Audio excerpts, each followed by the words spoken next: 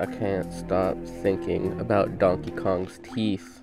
Did you ever notice he's hiding something? Right, ch check it out. Here, here's Funky Kong's teeth. Those are teeth. Now here's Candy Kong's teeth. Kind of gross, but there they are. There's a lot of debate about this in some circles of the DK community, but I gotta tell you, I have the answer. Just a warning, what I'm about to show you may be disturbing.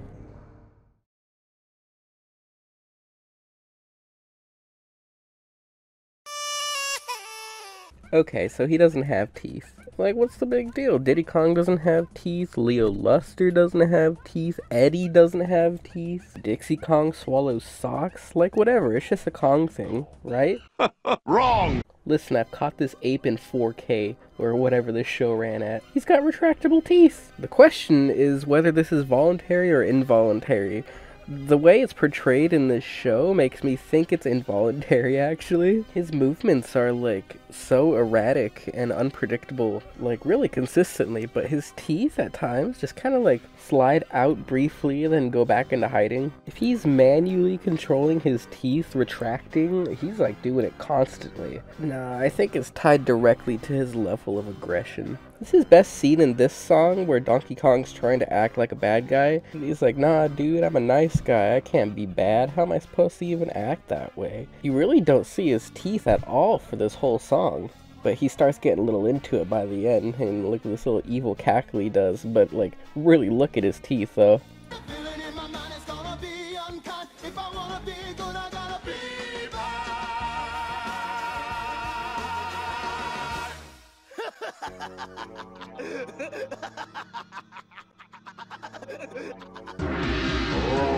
And I bet you're thinking, oh, well, that's just the TV show. Wrong, you filthy ape. I've been scavenging all Donkey Kong media I could find to find any link, any connection to his teeth. What does it all mean? Interestingly enough, when Rare was making Donkey Kong games, they seemed to never portray him with teeth. I've gone through like all the sprites and all the old artwork and renders and whatnot, and he just never has teeth in any of Rare's games. Alright, now don't worry, I'll get into the lore implications of this, I know you're dying to know, but we've got to start at the beginning. Alright, now everyone knows Cranky Kong is actually the original Donkey Kong from the arcade games. However, Cranky is never seen with teeth, despite Arcade Kong having teeth. Easily explainable. Cranky's an old Kong, must have lost his teeth over time, but something is just not adding up. Rare explicitly never gave Donkey Kong teeth, this being, of course, the original trilogy on DK64, but Nintendo consistently portrayed him with retractable teeth after Rare left the series. King of Swing, the DKC Returns games, Smash Brothers, even in the CG character announcement trailers Smash used, like very recently. Okay, stick with me because I have a theory. It's a bit out there, but hear me out. If Cranky was the original DK who had teeth aged up into teethless Cranky, and the DK in Donkey Kong Country was DK Jr., who aged into Rareware Donkey Kong who never has teeth, the only conclusion is that the Donkey Kong we see with teeth in Nintendo's Donkey Kong is not the same Donkey Kong from the Donkey Kong Country video games. It's in fact the very Kong seen in the Donkey Kong Country TV show. But what happened to Rare's Toothless Kong? Oh, he's here. He's the new Cranky. In Rare's games, Cranky always talked trash but never backed up the talk.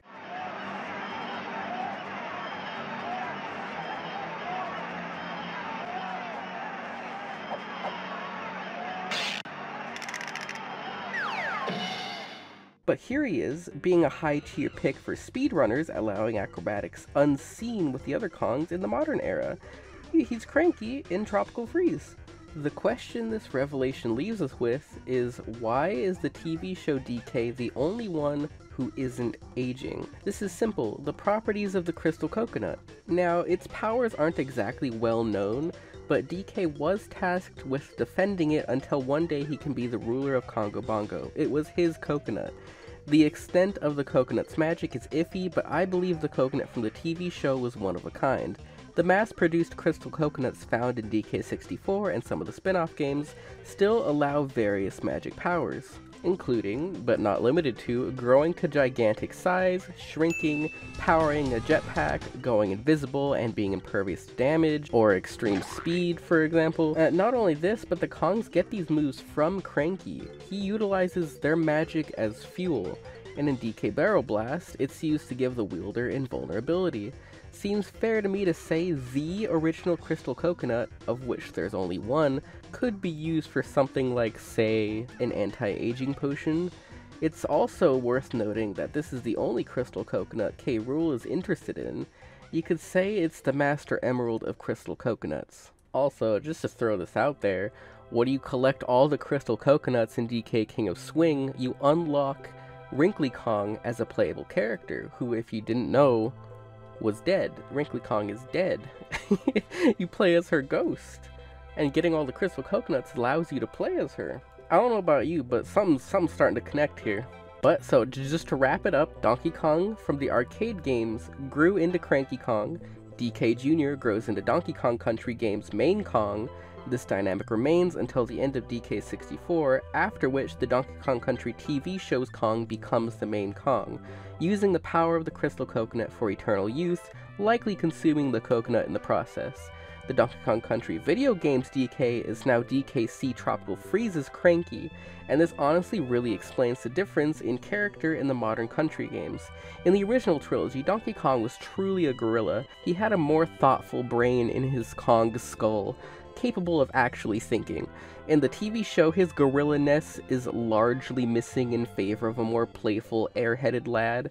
If you idle in DKC1, DK aggressively howls into the sky, beating his chest. But if you idle in DKC Tropical Freeze, Donkey Kong just sits there gaming. It's really not too much of a stretch to say DK from Donkey Konga is not the same one from the DKC video games. A music game with DK having a more goofy demeanor Dude, the TV show has multiple songs per episode. This is 100% the TV show DK. And this all lines up in real time, too.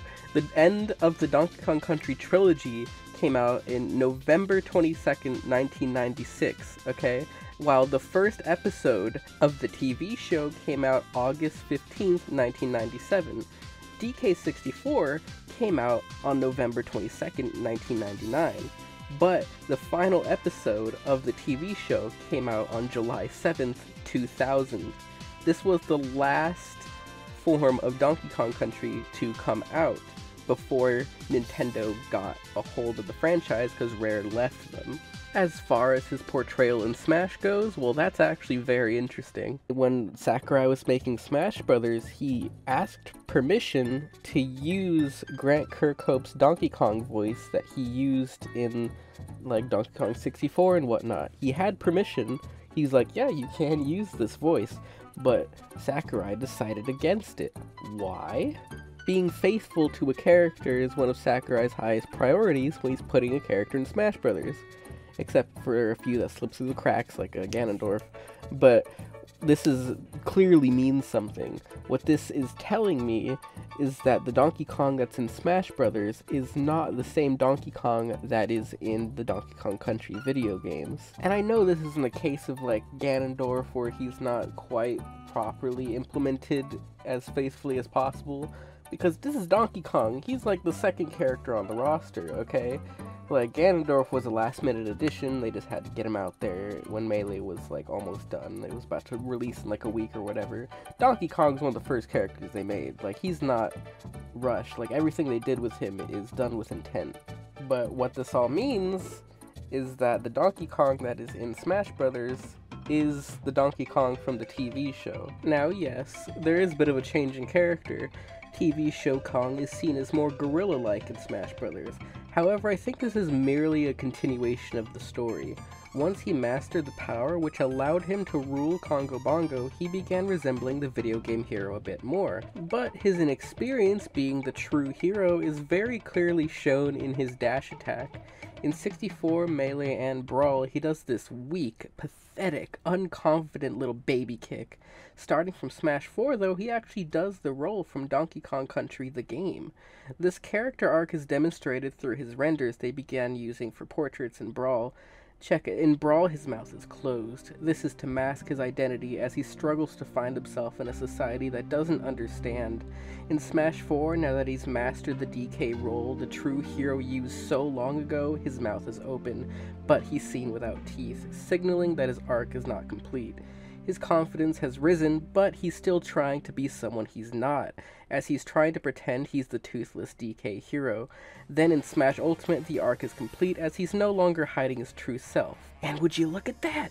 His final smash in Brawl and Smash 4 is from Donkey Konga, and then in Smash Ultimate, it's from Donkey Kong Jungle Beat. Simple enough, right? Case closed, story over. Well, I'd like to say so, but I've just discovered apparently Cranky Kong grows teeth while falling at a rail cart level in Tropical Freeze? The only implication this could possibly give is that at some point the immortal TV show Kong got locked into the Door of Darkness by Sora in Smash Bros., leading to events that will be explained in Chapter 179x2 of the upcoming mobile game Kingdom Hearts Missing Link. DK was split into his nobody, Cranky, who represents his true age, and a heartless form which likely was shown the light by Mickey Mouse and through using data from the real Kong, his nobody and his real self are able to coexist at once. Now, this is just the lore of Donkey Kong. You may not like it, but that's how it is. Hopefully now the fanbase can stop fighting about this, allowing the next Donkey Kong game to safely enter development, finally. Now that DK's immortality is now in question, that sets the stage for a grand return to a big 3D adventure game for the first time in decades. Man, and that's just Donkey Kong too. What about Diddy Kong? He's got teeth in the remake of Diddy Kong Racing, but not in the original, or really any other game or form of media whatsoever until Donkey Kong Country returns. And he also has it in Tropical Freeze. And what, what does that mean for Tiny Kong, who's also in Diddy Kong Racing, like grown up? Oh. oh, don't even get me started on Diddy Kong blinking with his pupils.